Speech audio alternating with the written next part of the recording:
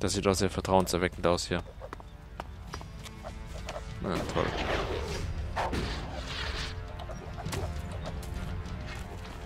Gucken wir mal, ob wir mit dem Vieh klarkommen.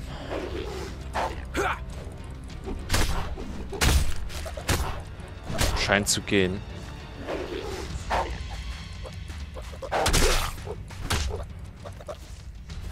Ausdauer geht zu schnell runter. Braucht mehr Ausdauer. Definitiv.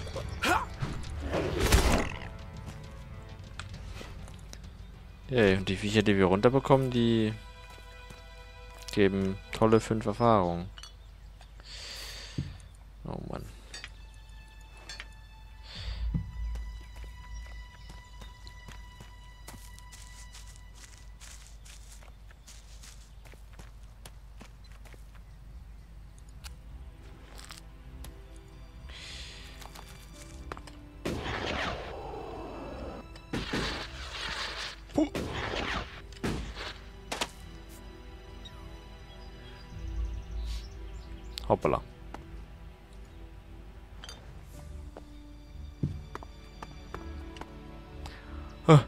Oh, aha. Was willst du hier? Du hast hier nichts zu suchen. Besser, du verschwindest wieder. Hier gibt es nichts für dich.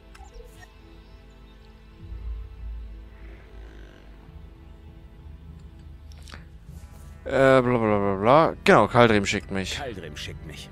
Wenn du hier bist, um uns zu töten, dann quatsch nicht so lange. Bringen wir es hinter uns. Ist nicht persönlich. Ich bin nicht hier, um zu kämpfen. Du bist hier, weil ich das Elex vom Mana-Schein gestohlen habe. Was willst du sonst von mir?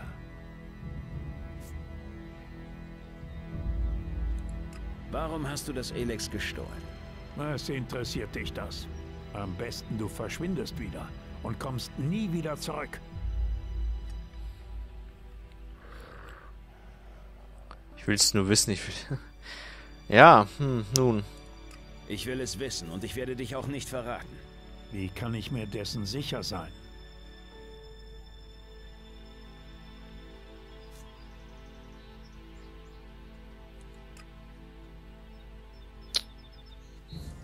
Kannst du nicht.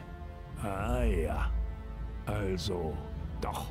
Nutze deine Chance, aus der Sache rauszukommen oder lass es bleiben. Hm. Okay. Ich werde es dir erklären. Aber denk dran, solltest du irgendetwas versuchen, werde ich deinen Schädel einschlagen. Alles klar? Klar. Gut. Was genau interessiert dich daran? Wofür brauchst du das Elex? Hm. Das habe ich noch nie jemandem erzählt. Hast du schon mit dem verwirrten Häscher gesprochen, der hier rumläuft? Nein. Dieses Ding war... ist mein Bruder Grima. Er wurde vor einiger Zeit von den Alps zu einem Konverter verschleppt. Doch er muss irgendwie entwischt sein und hat sich versteckt. Offenbar hat er sich im Konverter eine ganze Weile ausschließlich von Elex ernährt. Und als ich ihn endlich befreien konnte, war er mutiert zu... Naja, das Ergebnis kann man ja sehen. Jetzt leidet er furchtbare Schmerzen. Aber solange er Elex bekommt, geht es ihm etwas besser. Ah, okay. Kann ich verstehen. Ich kaufe dir das Alex ab. Gib mir das Alex Suggestion. Du fütterst deinen Bruder mit Elex? Ich habe ja gar keine andere Wahl. Ohne das Elex stirbt er vermutlich. Im Konverter haben sie ihm natürlich alles Elex seines Körpers entzogen. Als eine Art Entzugsreaktion hat er vermutlich angefangen, ohne Pause Elex zu sich zu nehmen. Jetzt sieh, was aus ihm geworden ist. Wenn die Berserker in Goliath nicht so unnachgiebig wären, dann würde ich ihn da behandeln. Vielleicht könnte er mit Hilfe von Mana geheilt werden. Aber der Gedanke führt zu nichts. Sie würden ihn auf der Stelle töten. Hm.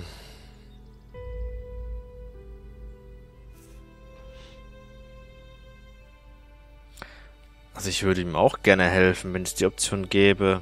Hm.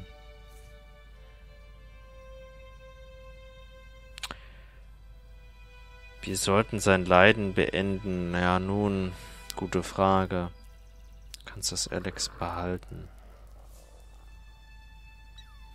Ja, ist die Frage, ob das überhaupt lebenswert ist für ihn. Ich schwanke zwischen, du kannst es behalten, weil er hängt an seinem Bruder. Und du. Hm, ist ein bisschen wie Sterbehilfe. Es ist echt scheiße, sowas.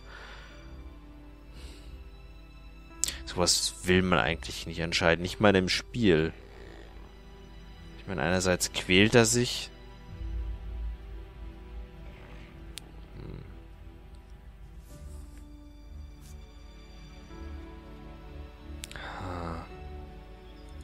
Du kannst das Elex behalten. Ich hätte es dir auch nicht gegeben. Was wirst du Kaldrim sagen?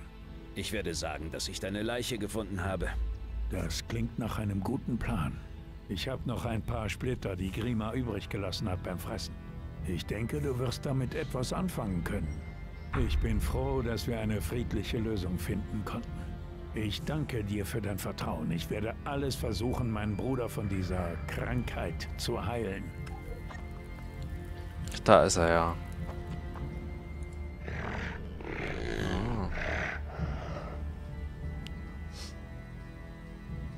Der ist ganz schön mutiert.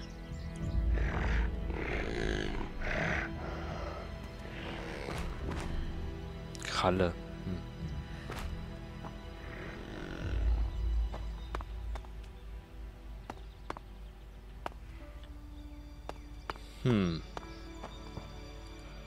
Ich muss mich jetzt wieder um meinen Bruder kümmern. Brause.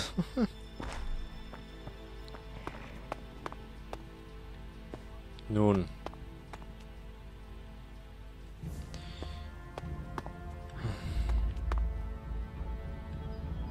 Das ist schon scheiße.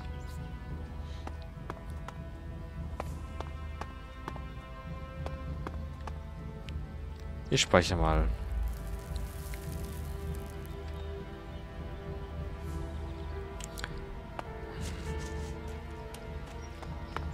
Hoffe, er kriegt eine Lösung, um ihn zu heilen. Ach, da ist noch was zum Teleportieren. Da ist ein Hütchen. Was haben wir eigentlich gesucht hier? Flussdelta. Ah, wieder so ein scheiß Hornwolf. Ja, es ist kein junger Hornwolf, es ist normaler. Mit einem Pfeil.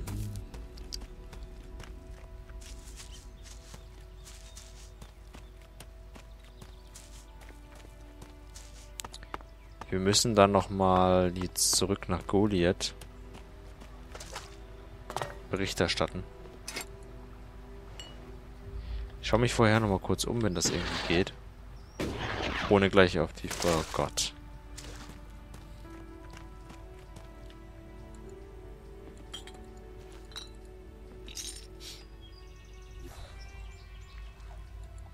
Tschüss.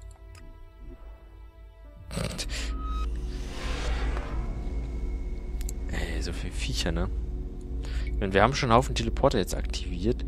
Ähm, Tavar haben wir... Wir könnten noch mal hier den Fort... Gott. Lavasee. Hier oben waren wir überhaupt noch nicht.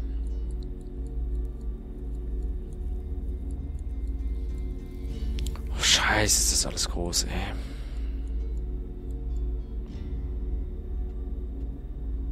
Relikt?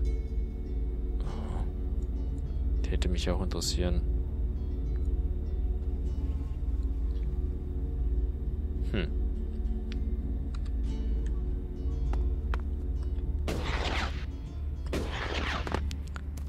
So, Kaldrim. Das war derjenige, welche, dem wir gesagt haben, du gucke mal, wir sind Alp.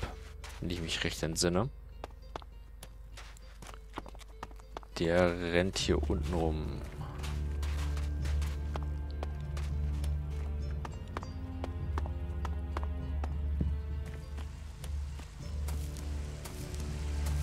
Vielleicht können wir ja auch sagen, du, der ist krank, der hängt an seinem Bruder.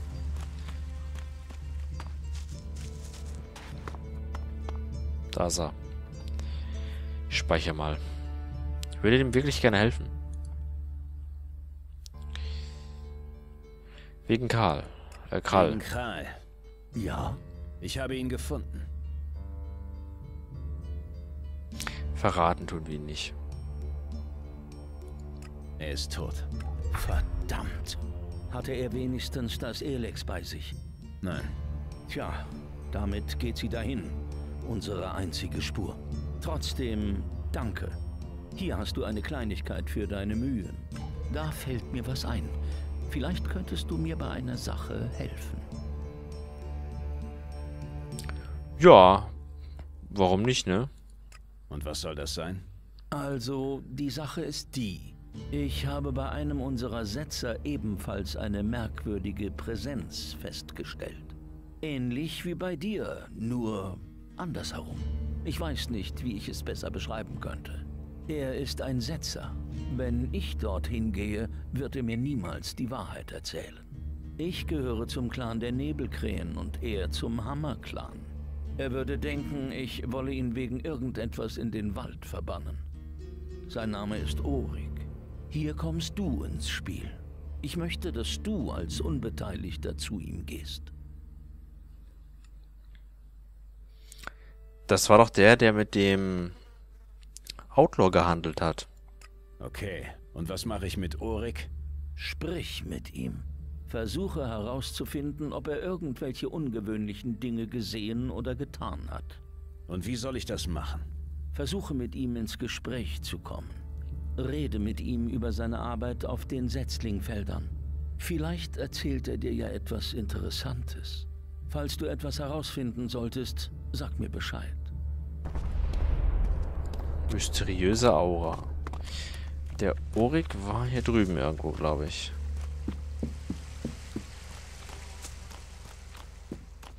Können wir wenigstens ein bisschen questen, um tatsächlich nochmal vielleicht ein Level zu bekommen. Hm. Das ist doch die Dings, ne? Ich muss mich wieder um meine Kräuter kümmern. Ne, das ist eine andere. Ähm. Heiler. Stand er nicht mehr hier irgendwo rum?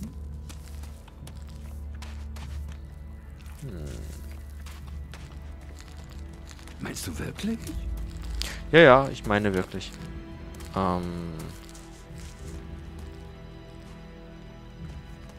Weiter unten?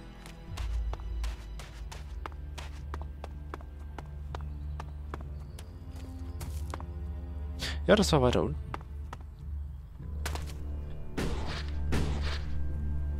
Hoppala. War er doch. Ah, es ist Ornir, nicht Orik.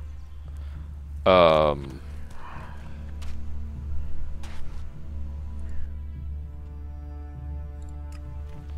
Hm.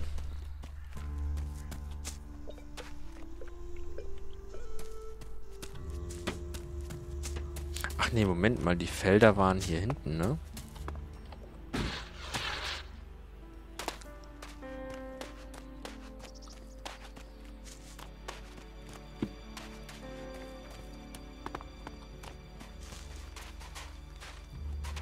Ähm.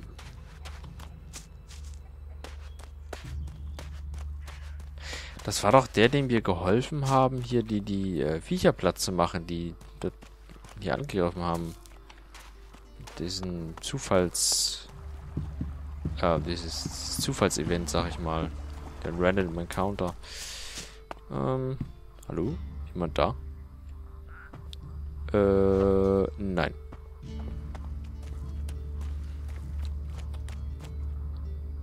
Oh, Bett.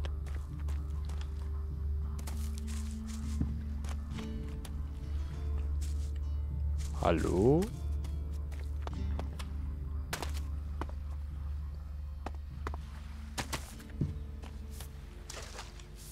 Ja, genau der war das.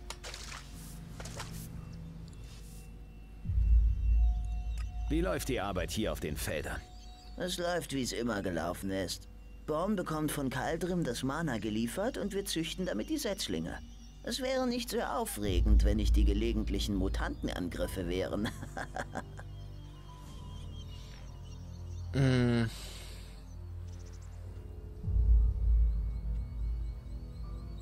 Kaldrim schickt mich dich verraten. Äh, nö. Klappt die Arbeit mit Kaldrim gut? ja, also, ja. Naja, es ist nicht immer ganz leicht. Kaldrim ist sehr strikt in seinen Regeln. Bei ihm ist kein Platz für Experimente. Experimente? Was meinst du mit Experimente? Ach, es ist nichts. Nur, ich meine, ich versuche gerne mal etwas anderes als die üblichen Techniken. Ich bin der Meinung, wenn wir nichts Neues versuchen, dann werden wir uns auch nicht weiterentwickeln. Was hältst du von Born? Er ist ein guter Chef. Ich arbeite gern mit ihm zusammen. Er lässt mich sogar manchmal experimentieren. Was machst du so in deiner Freizeit? Oh, das Übliche halt. Ich gehe in die Taverne oder treffe mich mit Freunden. Ab und zu arbeite ich sogar freiwillig weiter. Irgendwie entspannt mich die Arbeit. Ja, das ist ja einer. Du arbeitest in deiner Freizeit? Ja, das kommt manchmal vor. Weißt du, nicht alles, was ich hier mache, ist von oben abgesegnet. Und da kann es äh, praktisch sein, nachts zu arbeiten, wenn niemand zuschaut. Klingt interessant, erzähl mir mehr. Klingt interessant. Erzähl mir mehr. Schön, dass sich jemand dafür interessiert, was ich mache. Was willst du wissen? Was will der Kaldrim sagen? Was würde wohl Kaldrim dazu sagen? Was willst du denn damit sagen? Vermutlich würde er mich verbannen lassen. Vielleicht sollte ich lieber nichts mehr sagen.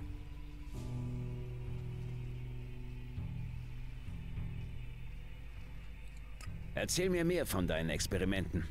Warum sollte ich das tun? Ich bin mir nicht sicher, ob ich dir vertrauen kann. Aber du darfst es niemandem verraten, sonst bin ich geliefert. Außerdem muss ich zugeben, dass es mir schon länger unter den Nägeln brennt, jemandem davon zu erzählen. Also gut, ich erzähle dir jetzt etwas, das du niemandem erzählen darfst. Okay.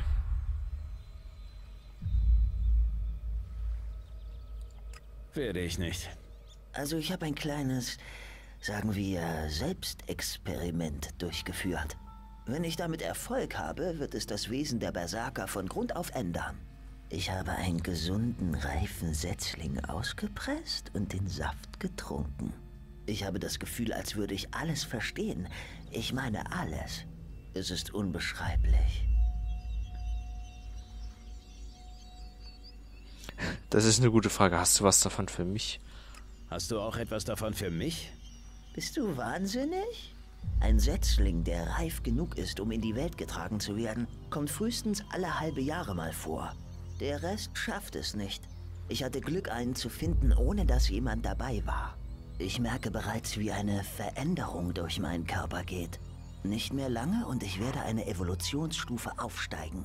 Wenn du das sagst. Glaub mir, wenn ich nochmal einen Setzling in die Finger kriege, dann ist es endlich soweit. Aber genug davon. Nicht, dass uns noch jemand hört. Das nächste Mal bekommst du was ab. Versprochen. Ich sollte jetzt wieder los. Wir sehen uns. Ich will auch. Oh, toter Wühler. Ähm.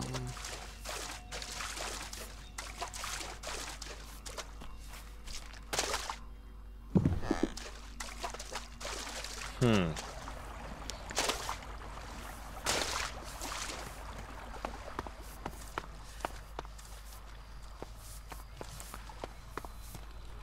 Was das? Achso, Pilz. Ähm, Aufzug Haldrim. Ich meine, die Dinger sind ja reines Mana, ne? Bah, Gott. Äh. Da hoch, glaube ich, geht auch. Oder? Nee, Moment, das geht nicht. So lang.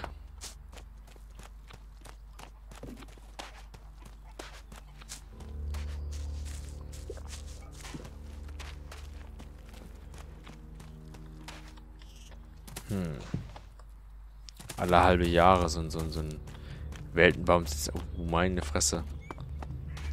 Das gibt auf die Finger.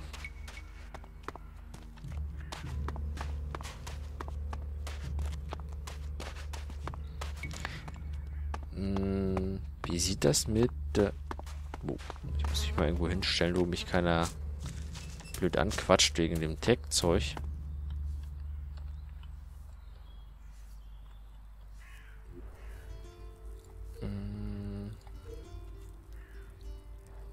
Das ist auch ein bisschen blöd gemacht mit dem Erfahrungsbalken. Ja, ein bisschen was ist es noch.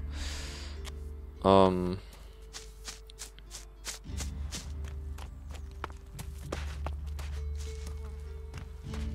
Da hinten war er, ne? Ne, noch eins höher. Oder? Ne, hier sind wir richtig.